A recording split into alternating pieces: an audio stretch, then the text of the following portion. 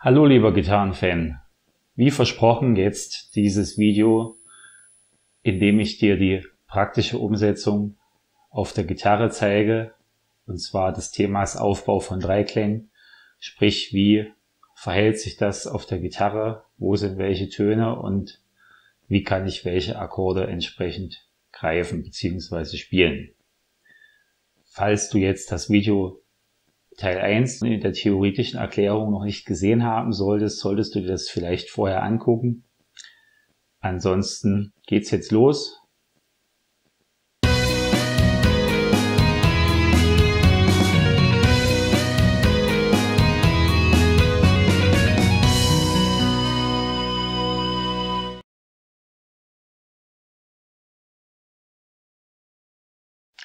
Ich habe mich bewusst dazu entschlossen, nachdem ich gemerkt habe, dass das doch ein recht umfangreiches Thema wird, das Ganze auf drei Videos aufzuteilen.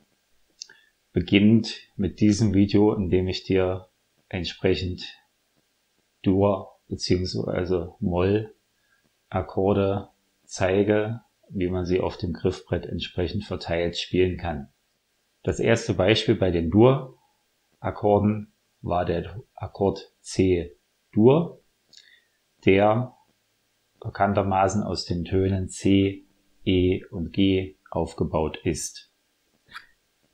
Jeder von euch kennt diesen landläufigen Griff und hoffentlich weiß auch jeder von euch, dass wir den erst ab der A-Seite anspielen dürfen, denn hier im dritten Bund liegt mein Ton C, also mein Grundton. Es folgt auf der D-Seite im zweiten Bund mein Terzton, also E. Danach gibt es meinen Quintton, also G, die leere G-Seite. Das sind die drei Dreiklangstöne. Alles, was jetzt kommt noch, ist einfach eine oktavierte, also eine Tonreihe höher liegende Variante von einem der drei Töne. Da geht es jetzt beim Cello-Griff, beim normalen weiter und zwar mit der Oktave auf dem Grundton, hier auf der H-Seite den ersten Bund das C. Ganz zum Schluss gibt es nochmal eine Oktave auf die Terz, also auf das E, die hohe E-Seite. Also vom Standard Cello-Griff sind die Töne C, E, G, C, E. Nächste Variante ist das Ganze als Barré-Griff, bei dem der Grundton auf der A-Seite liegt. Folglich, ich verschiebe den A-Dur-Griff. Ihr kennt das bestimmt so. Ich greife es der Einfachheit halber immer so, aber auf jeden Fall ist es dasselbe. Und hier habe ich auch erstmal wieder natürlich den Grundton. Dann kommt gleich die Quinte. Dann kommt die Oktave auf den Grundton. Und dann erst die Terz. Sowie nochmal eine Oktave auf die Quinte. Also C, G, C,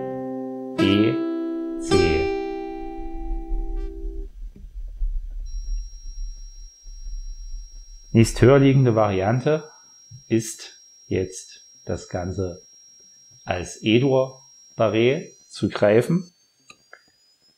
Das heißt, jetzt habe ich tatsächlich alle sechs Seiten in Gebrauch. Ich bin hier also im achten Bund mit meinem Zeigefinger und greife dazu E-Dur.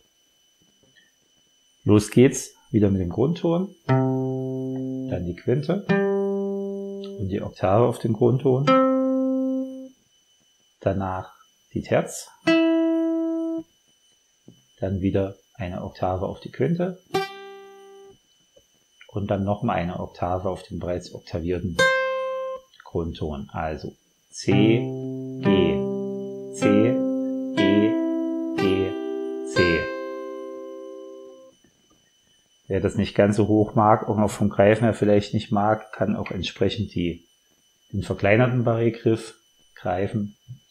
Auch hier habe ich entsprechend erstmal den Grundton, danach die Terz und die Quinte und dann nochmal die Oktave auf den Grundton. Also C, D, G, C. Eine Variante habe ich noch für euch. Und zwar ist das praktisch ein verschobener D-Dur-Griff mit entsprechend gegriffenem Grundton auf der D-Seite im zehnten Bund. Also hier habe ich auch wieder Grundton natürlich. Dann Quinte, wieder Grundton oktaviert und dann erst den Terzton. Also C, G, C und E. Das waren jetzt insgesamt eins, zwei, drei, vier, fünf Varianten, wie ich den C-Dur-Akkord auf der Gitarre greifen kann. Diese unterschiedlichen Griffe, also Griffvarianten, nennt man übrigens auch Voicings. Wie du also siehst, oder wie ihr also seht, muss es nicht immer nur der grundlegende Griff sein. So kann ich natürlich sämtliche andere Dur-Akkorde auch entsprechend über das Griffbrett verteilt spielen. Setzt natürlich voraus, dass ich mich ein bisschen auf meinem Griffbrett auskenne dass ich weiß, welche Töne wo liegen. Und natürlich, dass ich entsprechend auch, wie gesagt, herausfinden kann oder bilden kann, aus welchen Tönen genau eigentlich welcher Dur-Akkord aufgebaut ist.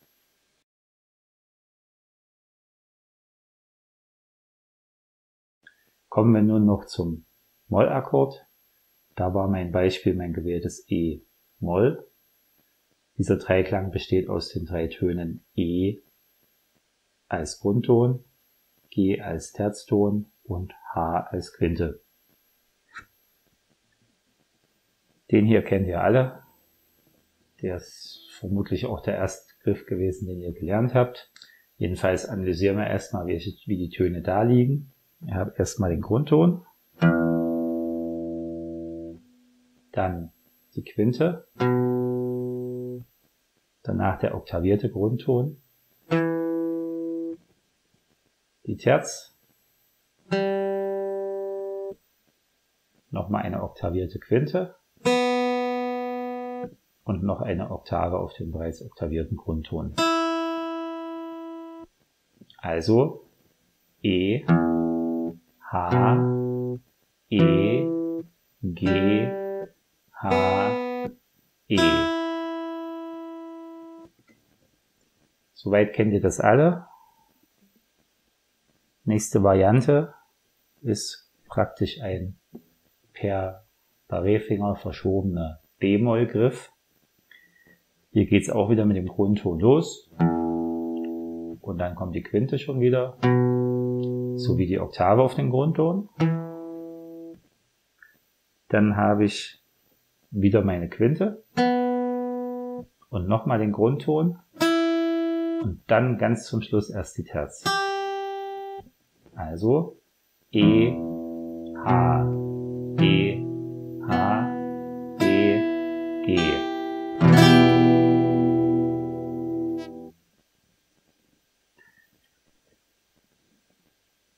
Das Ganze kann ich natürlich auch als Barré, normales Barré vom A-Moll greifen.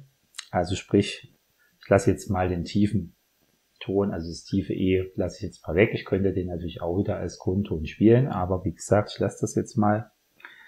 Heißt, wir fangen also auf der A-Seite am siebten Bund an, haben dort natürlich erstmal wieder unseren Grundton,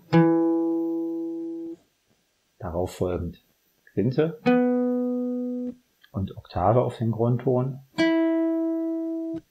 dann die Terz und dann nochmal eine Oktave auf die Quinte.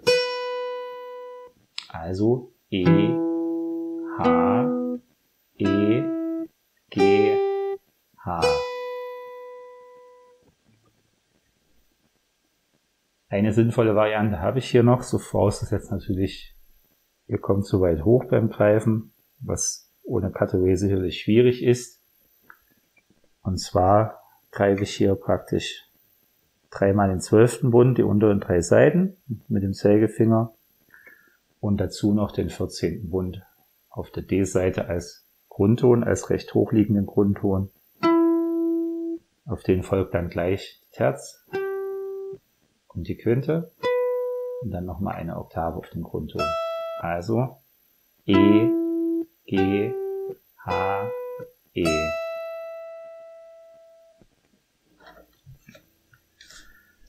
Das war's jetzt für den ersten Teil. Ihr habt also gesehen, wie man den C-Dur-Griff und den E-Moll-Griff beispielhaft natürlich quer über das Griffbrett verteilt spielen kann. Wenn euch das Video gefallen hat, gebt mir doch bitte einen Daumen nach oben und teilt es gerne auch mit euren musikbegeisterten Freunden, zum Beispiel auf Facebook. Natürlich freue ich mich ganz besonders, wenn ihr euch jetzt meinen Abonnenten anschließt, denn dann weiß ich wiederum, wofür ich das Ganze hier mache.